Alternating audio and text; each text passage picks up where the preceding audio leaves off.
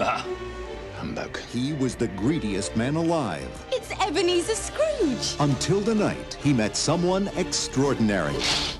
Hello. The Muppet Christmas Carol. I'll drink to Mr. Scrooge, even though he is odious, stingy, and badly dressed. Humbug. Oh, there goes Mr. Humbug. There goes Mr. Grim. Do you think it's safe for us to be up here?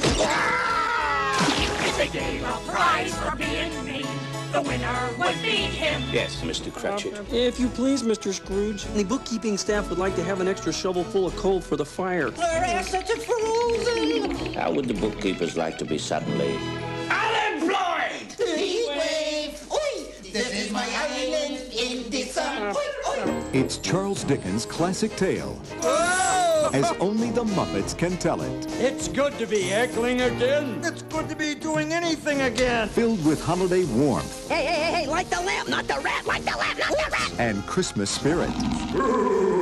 Jacob Marley?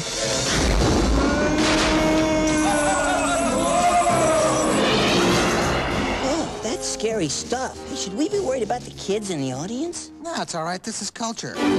This is the movie to see, to share, to cherish with someone you love. Thank you for making me a part of this. Walt Disney Pictures presents from Jim Henson Productions, The Muppet Christmas Carol. God bless us, everyone. Whatever.